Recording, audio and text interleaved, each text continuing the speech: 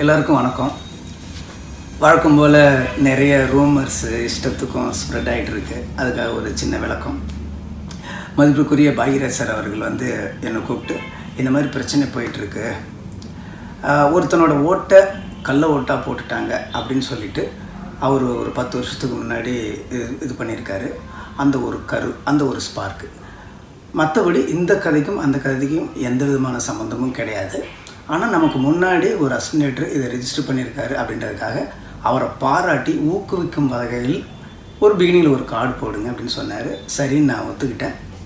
அந்த வகையில் மட்டும்தான் இது வரும். அந்த லெட்ரு என்னங்கிறது டீட்டெயில்ஸு உங்களுக்கு கீழே நான் ரிலீஸ் பண்ணுறேன் மற்றபடி இந்த படத்தின் கதை திரைக்கதை வசனம் டைரக்ஷன் ஏஆர் முருகதாஸ் அதில் எந்த மாற்றமும் கிடையவே கிடையாது. ஹாப்பி தீபாவளி என்ஜாய்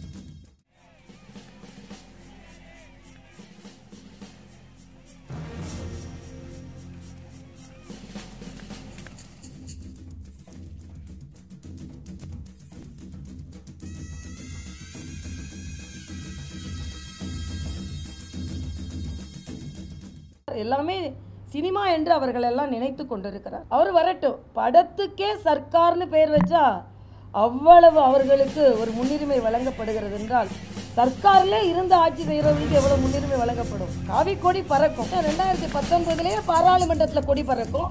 அதுக்கு ரெண்டாயிரத்தி பத்தொன்பதுக்கு மேல எப்போ உள்ளாட்சி தேர்தல் வந்தாலும் அப்போ கொடி பறக்கும். ஆனால் படத்துக்கே சர்க்கார்னு பெயர் வச்சா அவ்வளவு அவர்களுக்கு ஒரு அவ்வளவு அவர்களுக்கு ஒரு அதாவது அந்த பார்ட்டியை வந்து இன்னைக்கு வந்து இவ்வளோ தூரம் வளர்ந்துருக்கு தான் எங்கள் அப்பா ஒரு பெரிய காரணம்.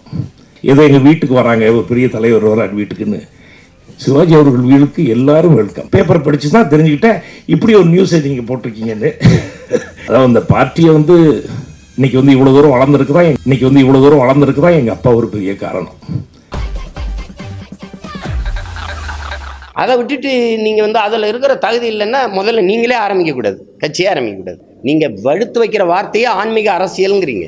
ஆன்மீகங்கிறது மதம் சார்ந்தது. நீங்கள் தான் மாதம் ஒரு தடவை இமயமலைக்கு போயிட்டு வரீங்க. அப்போ அது மதம் சார்ந்த வழிபாடு தானே? அப்போ நீங்கள் எப்படி அதுக்கு அதுக்குள்ளே இருக்கிறது தலைமை இருக்கிற தகுதியை பெறுவீங்க? நீங்கள் இன்னும் கட்சியே ஆரம்பிக்கல. வந்தோடனே நாங்கள் ஆட்சி அமைச்சிட்டோம். இதெல்லாம் இது வந்து பைத்தியக்காரன் கனவுல கூட வராது.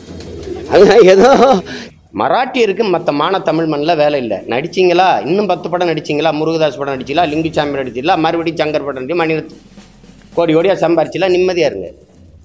என் மொழி தெரியுமா? என் வரலாறு தெரியுமா? அப்போ வந்து என் வரலாறு தெரியாதவன் எனக்கு வழிகாட்ட முடியாது. இது தேவையில்லாத வேலை. இது தேவையில்லாத வேலை. இது தேவையில்லாத வேலை.